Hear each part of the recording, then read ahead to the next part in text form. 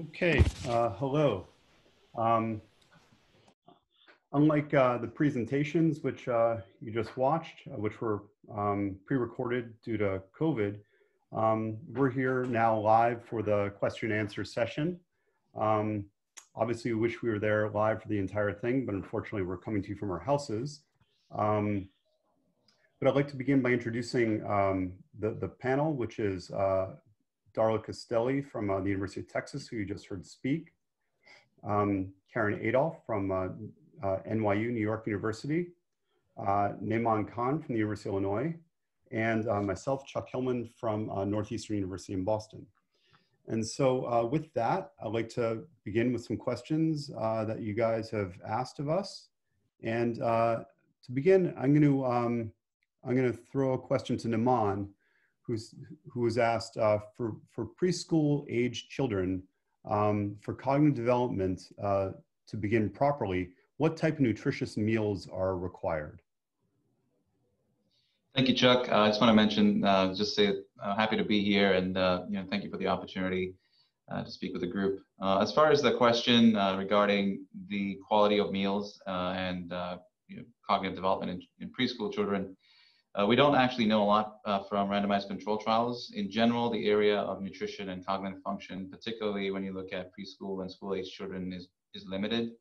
Um, and that extends uh, beyond the limitations even further when you, when you try to think about mixed meals. So what we know is that uh, what we know more of is about particular nutrients like DHA and lutein, uh, choline, but what we don't really know is about the, the effect of mixed meals. Uh, what we do know from some of the work that's been done in uh, carbohydrate uh, studies is that uh, you know providing children with uh, and even breakfast studies is that providing children with breakfast or a source of uh, you know easily absorbable carbohydrates may be impactful, particularly for children who tend to skip breakfast, and that may be impactful in terms of their short-term or acute cognitive function, but you know the long-term implications are not quite well understood.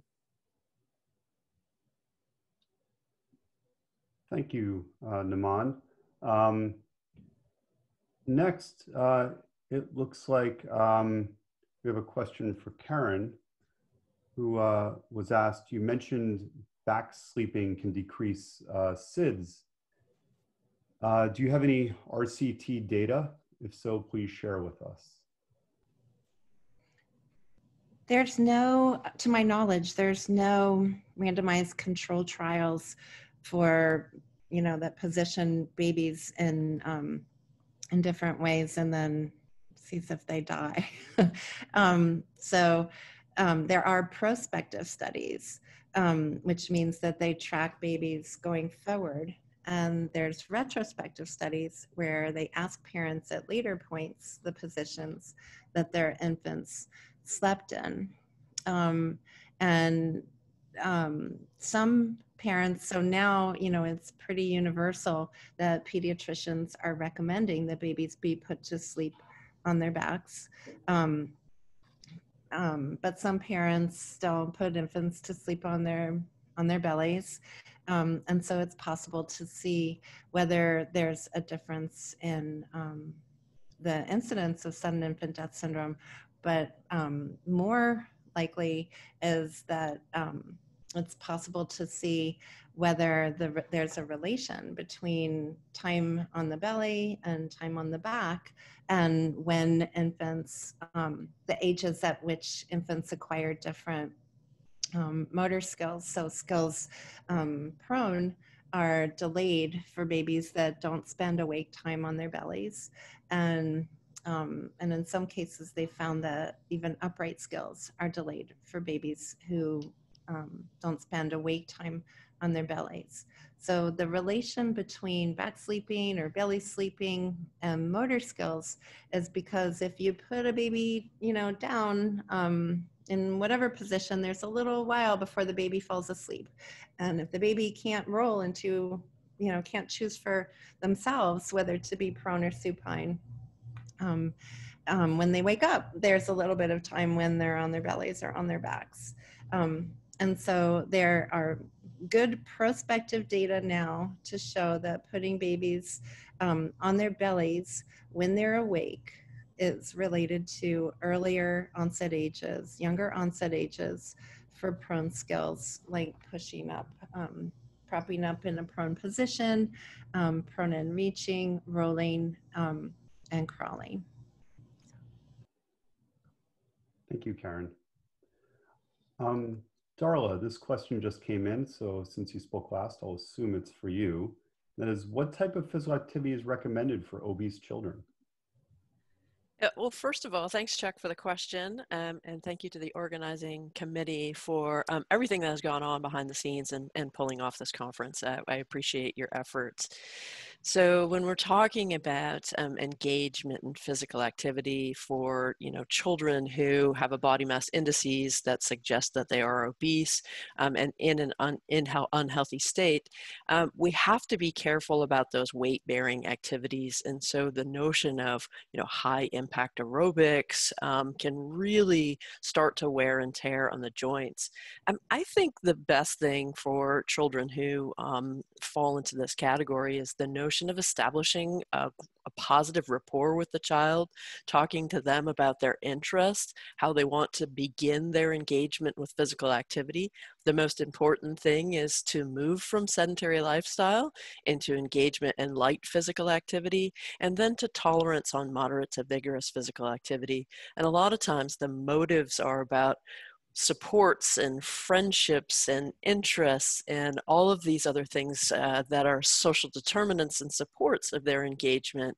So I would recommend whatever the child is of interest, uh, has an interest in, um, is to try to get them to engage in that. And sometimes it starts as simple as you know, walking your dog to the mailbox, walk as a family, I'm providing uh, family engagement and parent modeling of that physical activity. So things um, that are, have minimal impact um, and are not of a very high intensity uh, are physical activities that I would recommend.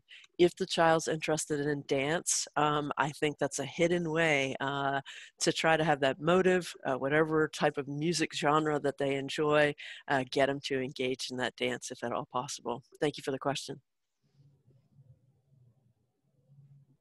Thank you, Darla.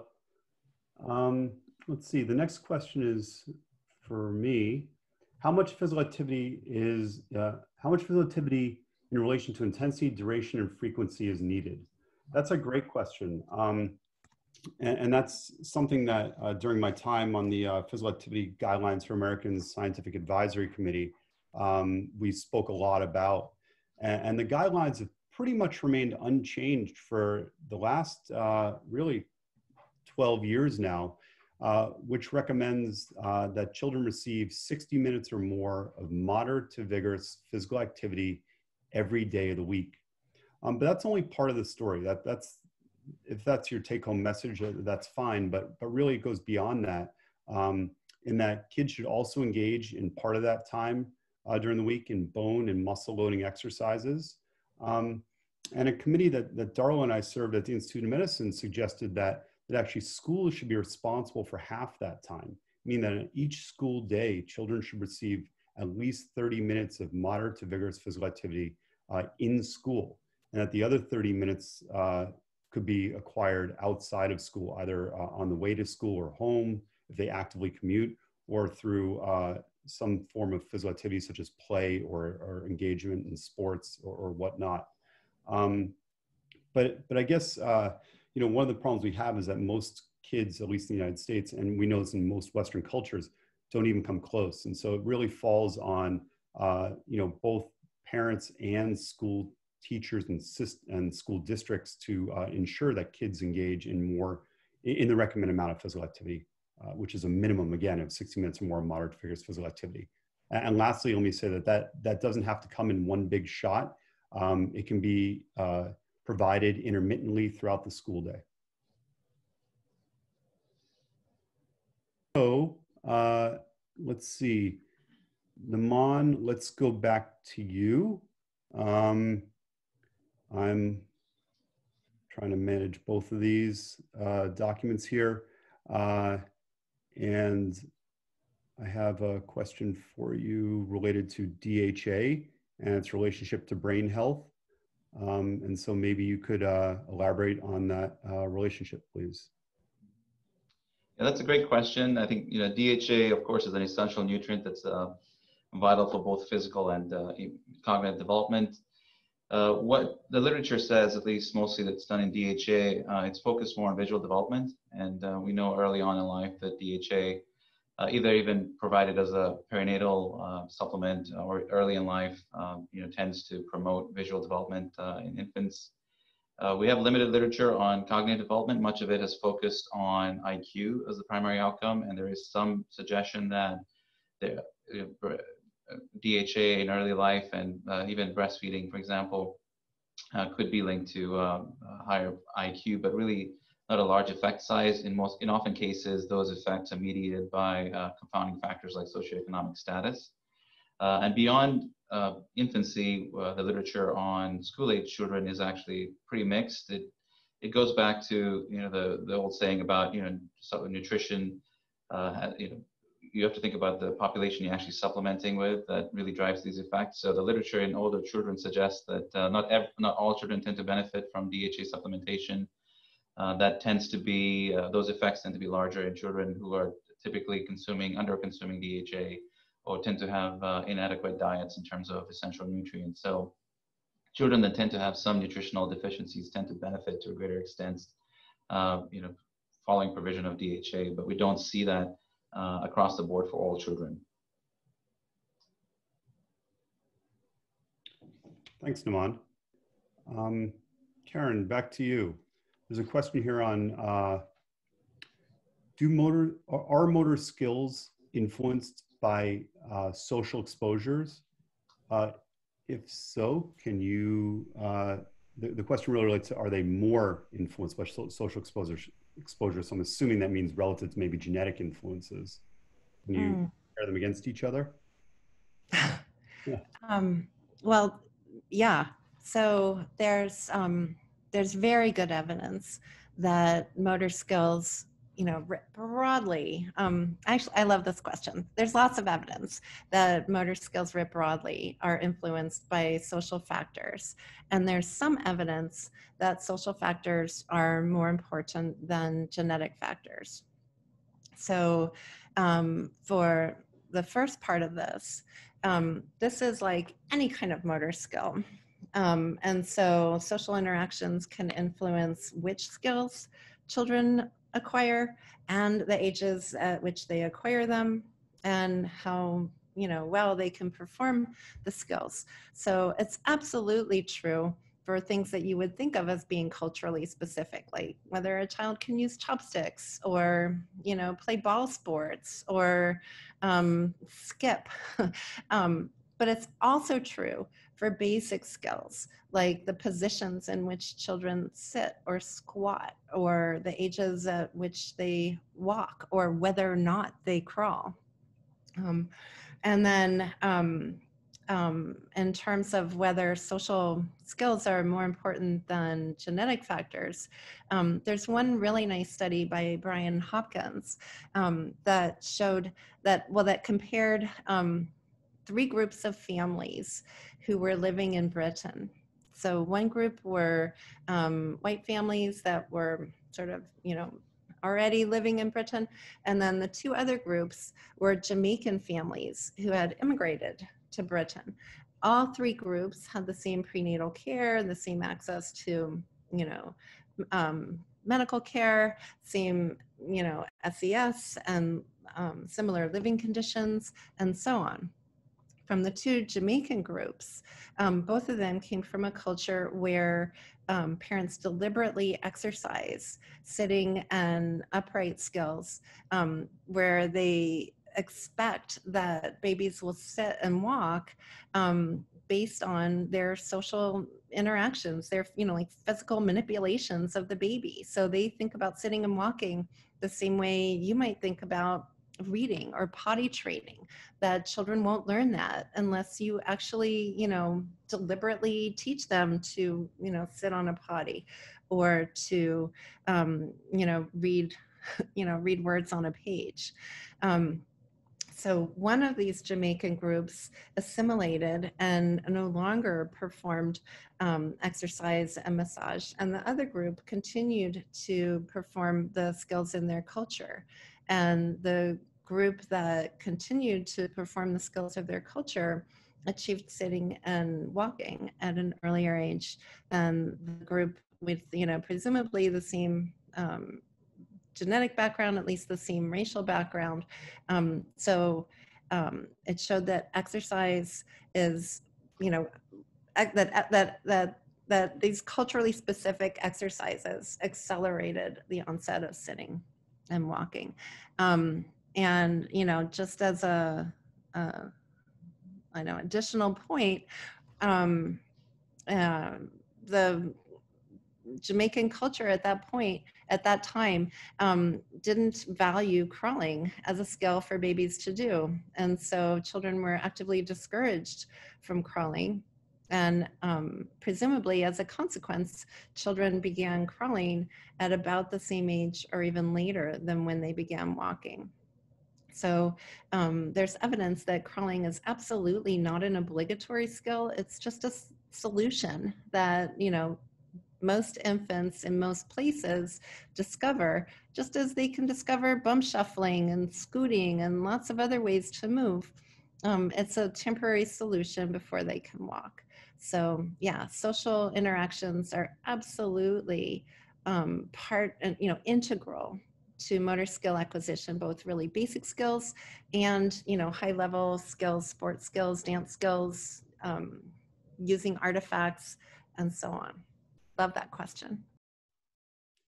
Thanks, Karen. So it sounds like you, you place nurture as high up there as nature, maybe more so. Yeah.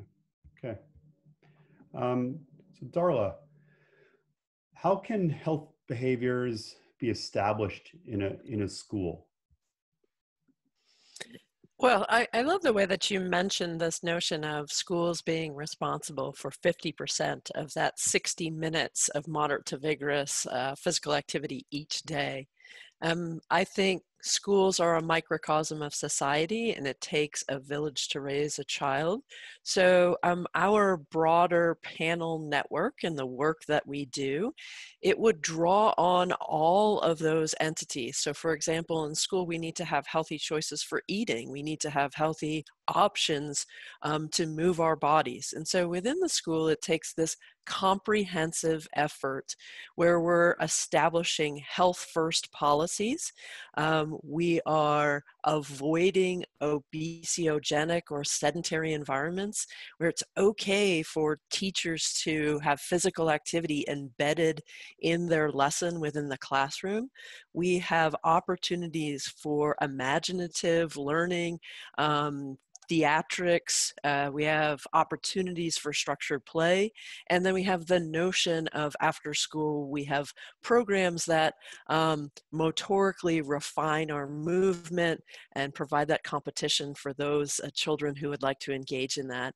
That's a comprehensive effort in it would be great if our school day, as Chuck had suggested, um, ultimately begins with this active transportation, that we have safe routes to school, and then we have a healthy meal when we get to school, and then a across the curriculum, we have embedded opportunities to move our bodies. And sometimes when I do professional development, I, I, hear from teachers that we don't want to use the word wiggle or we don't want to use the word stretch because I might lose control of my classroom.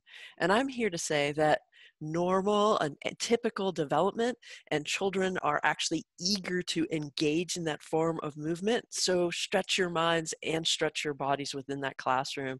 I love how karen just said that it is about the opportunity to explore the environment. Doesn't matter how you explore it you know whether you crawl or creep within that environment the fact is you had a chance to put your hands in the child had their chance put their hands in the grass and to feel that grass and to figure out how to transport from one place to another to get that object that they wanted. It's just at a slightly different developmental stage when we're talking about schooling. Children still need these opportunities to explore their environment um, and to thrive within that environment. And I would argue that that involves some form of human movement across the curriculum. Thanks, Darla. Yeah, you touch on a really good point that it's it's funny from an adult perspective. You know, we ask children to do things in school that we don't do ourselves, right? Sit still, don't fidget, stay on task for you know long stretches of time. When we all know now working from home, we we take our little micro breaks and check the news or sports and get up and go get a coffee and all those sorts of things. So, um, okay, so I guess the next question is for me, and that is: Is only aerobic exercise uh, related to improvements in cerebral development in kids? Uh, and I would answer absolutely not. Um, what I'll tell you is, is that we know the most about aerobic exercise. That is to say, we know the most about aerobic forms of physical activity, walking, running, uh, biking, and whatnot, and its effects on brain structure, brain function, cognition, and academic performance. Um, but there are, there are certainly other modes of physical activity. Um, we know that motor skill building has, um, has a, a, a, separate or a unique relationship with uh, cognitive and academic performance. Um, in, in older adults, we know that uh, strength training, a randomized controlled trial strength training, uh, is related to changes in, in both brain structure and function as well as uh, cognition. Um, and, and I guess, you know, what, what I would caution you on is there are certain groups out there that suggests that there's only one type of exercise uh, or, or, or, another type of exercise that are important. And that's just simply not true. When you, when you look through the entire literature, uh, there are many ways to get there. There are many ways to derive benefit. Uh, and, and, what we know is that is that may, what we know the most about is aerobic exercise. And so certainly I think that's a good place to start. That's the foundation um, for other forms of exercise, but, but certainly we, uh, we do know that there are other types of exercise that also benefit uh, uh, brain and cognition. So with that, uh, Naiman, I'm gonna ask you, uh, there's a couple questions that are all very similar. So uh, let me at least ask you two of them or, or three of them and you can see if, you know, how you wanna answer it. One is, you know, does malnutrition affect brain growth and size? Um, and another is what types of nutrition are best for, uh, for brain health uh, and cognition. Um, and, and then there's even, you know, what kind of nutrition do we need to give growing children faster brain function? So I, I think, you know, you can answer this as, as you like, but they're, they're all kind of the same body of questions. Uh, so they're all great questions, and uh, I think very, really important. Uh, when we think about early life, and we talk, we talk about deficiency in, in any nutrient, any nutrient, uh, I think it's important to understand that um, in, when it comes to essential nutrients, uh, you know, when we talk about macronutrients like DHA, or we're talking about micronutrients, you know, like vitamin D and zinc, these are essential nutrients that are really important for laying a foundation for brain development and brain growth. So I think deficiencies in any essential nutrient uh, result in direct impact on brain growth, uh, but also uh, when you think about what deficiencies do in terms of uh, you know motor development, in terms of uh, physical development, also could compromise you know uh, develop cognitive benefits that you would see from environmental enrichment, engagement with the environment. So I think it's important to uh, recognize that certainly, you know, nutrition is vital uh, in setting the base in terms of brain structure and function in early life. Um, and uh, a lot of that development takes place uh, you know, early on uh, if you're doing fetal development and then the first couple of years of, uh, of life. and then it, you know, obviously continues all the way until the third decade as far as pruning and synapses and that sort of thing. So at all these stages, uh, the effects of nutrition can play varying roles, and depending on the nutrients that somebody's deficient in, those effects could be larger uh, in certain domains. Um, and what we don't know as much about is really the, you know, the complementary nutrients that are not called essential. So for the case of choline, uh, in the case of lutein, for example, these are nutrients that are still being understood in terms of deficiency. They don't always, you know, we don't have well-characterized deficiency criteria for these nutrients, but we know that uh, they may play uh, an important role in optimizing cognitive development beyond uh, addressing issues of um, you know, deficiency, particularly in children who don't have any deficiencies. So we know that nutrition plays a vital role uh, in brain development and function. Uh, I think that the other two questions were about uh, you know, nutrition and sort of daily cognitive functioning and what would be considered to be healthful nutrition in, the, in, in that context.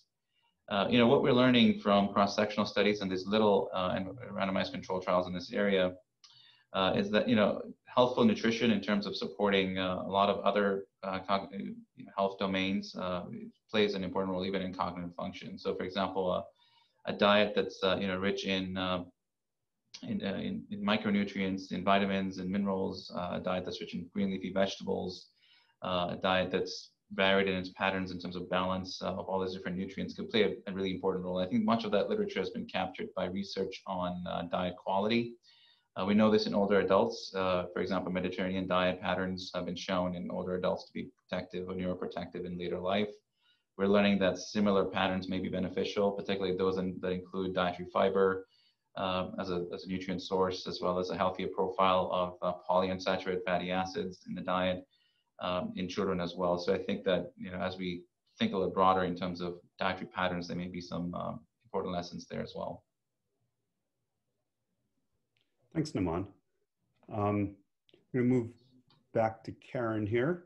And a question that just came in asks uh, uh, if parents are restricting movements and activity uh, based on risky environments uh, in their kids, will this have long term implications uh, or, or, future problems?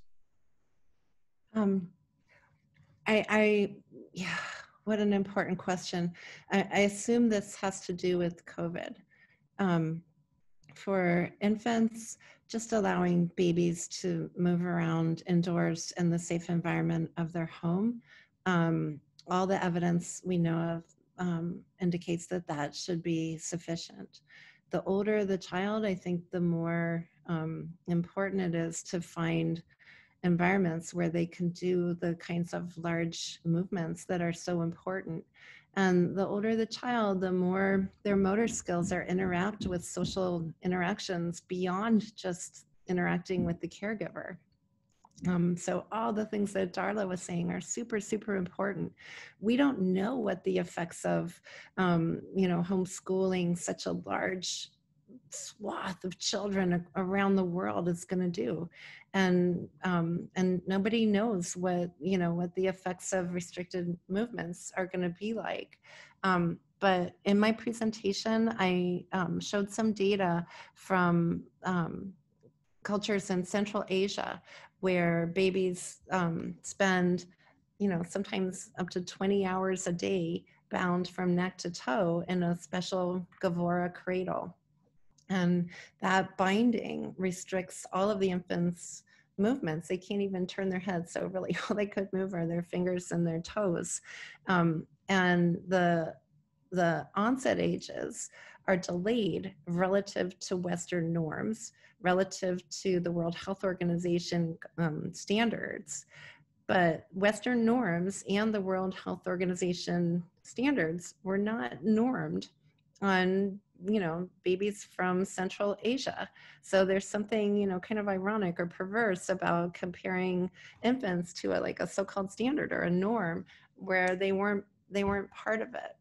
So um and you know as as you all know people in central asia um, grow up to be just fine. In fact by preschool age um, our lab was finding that children you know are um, doing some skills that um, you know you don't normally see in western cultures. Children walking over narrow bridges you know as part of their everyday environment and climbing high ladders um, and so on. And there's other data like that like the ache indians in paraguay um, in eastern Paraguay, um, when they were studied in the 1980s, they weren't walking until they were 20 plus months of age, which is seemed like off the chart for um, Western norms.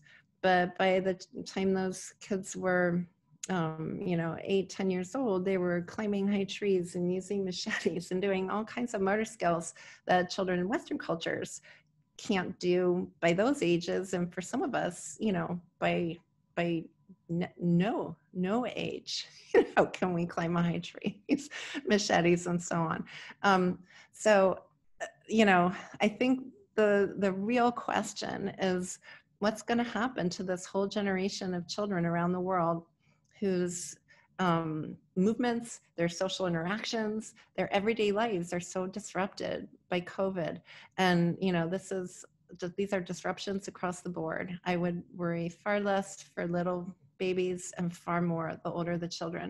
Um, and one, you know, one last word is, you know, those of us who are um, teach college students or have, you know, children who are in high school um, or in college, you know, it's really, really hard for them. And, you know, I, like developmentally, college age children really maybe shouldn't have returned to their childhood bedroom and you know camping in with their parents for weeks and months on end.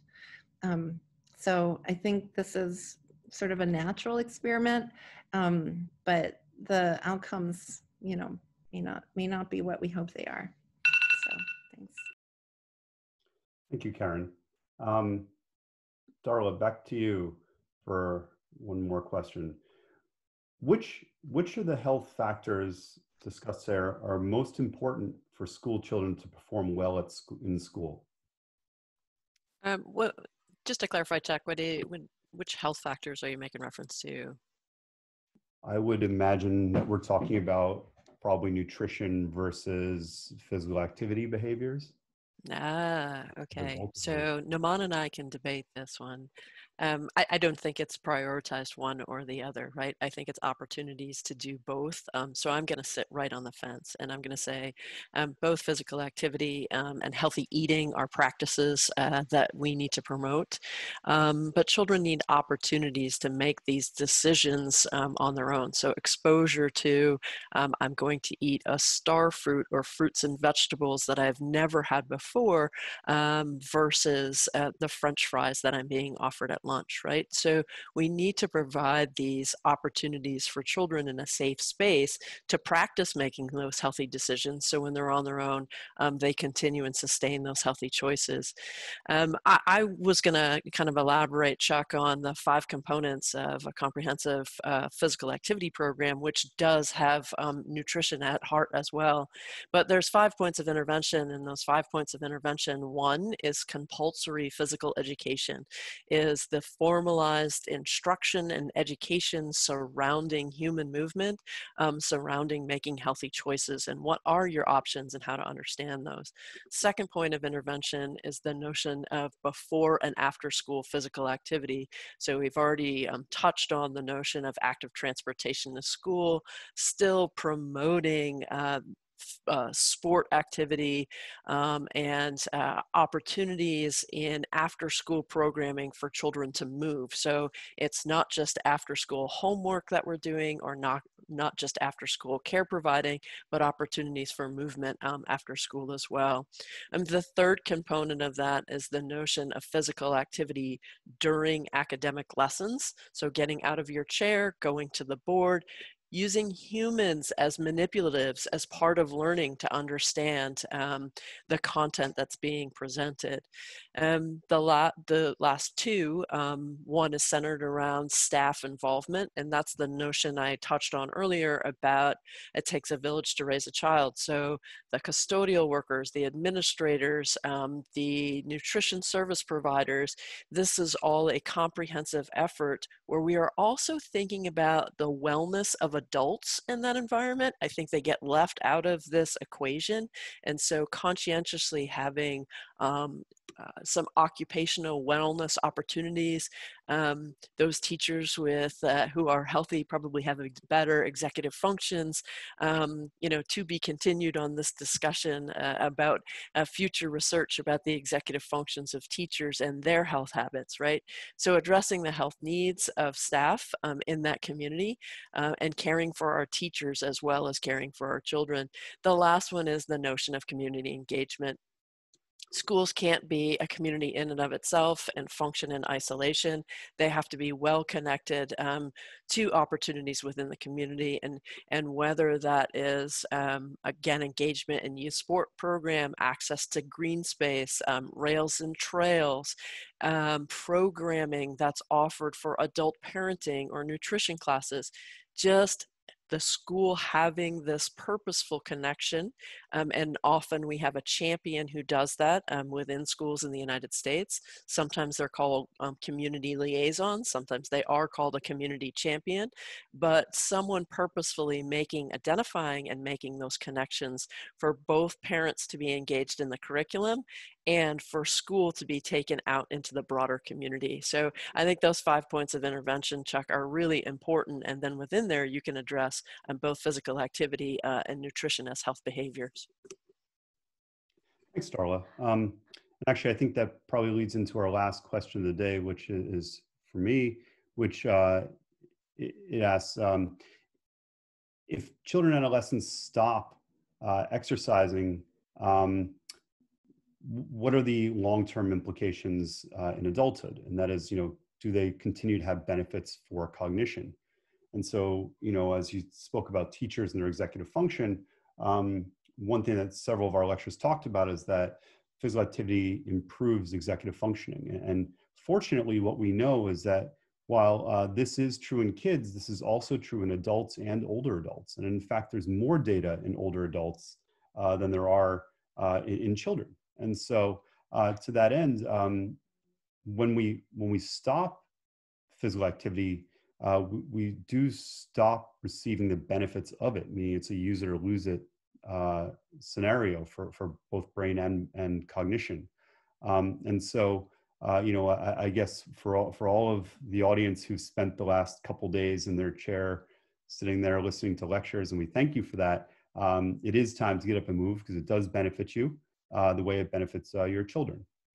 And so uh, with that, uh, I'm going to end our Q&A session and I'm going to turn uh, the, the floor, the virtual microphone back over to um, Natalia Wegman, who is going to close the session today. Thank you for your time. Dear Charles, dear faculty, thank you very much for a fantastic session and great questions and answers. We didn't have enough time to answer all questions we came, which came during the session. And uh, I, uh, to participants, I really can ensure you that we will make effort and faculty will reply on those questions which are still remaining unanswered what I would like to do now, I would like to summarize in three words the session which um, we had today. It was maybe a little bit unusual for the Nestle Nutrition Institute because most of the time we are talking about nutrition. We are not really talking about, you know, physical activity, motor skill development, and um, how much it may influence brain and cognitive functions.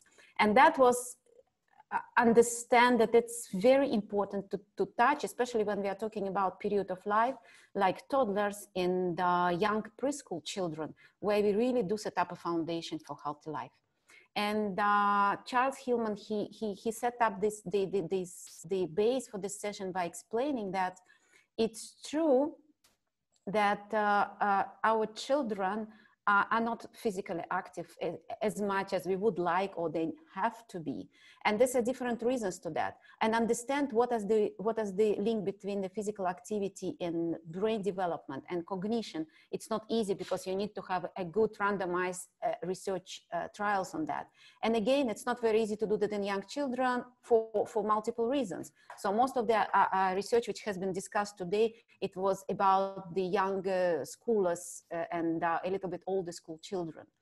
However, when, when uh, moved us to another section of, of, of this um, uh, session about brain and cognition and physical activity and potential role of nutrition, it's very clear that certain, first of all, adequate nutrition is very important. And if, if, if child is getting adequate nutrition, that potentially his brain will be developed in, in the way it has to be. But certain nutrients, they're playing maybe more important role and they're triggering more certain, certain parts of uh, developmental brain and, and uh, cognition than the others. So it's important to take in consideration, but definitely more research is needed.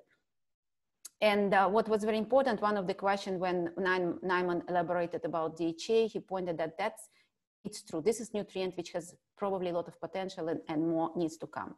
And then, and then with the, with the Karen, we moved to a very young age of, of motor skills development when child just coming to this world and start to investigate this world by different means. And one, which is the most important, that's the, the the experience which he is uh, trying to understand this world.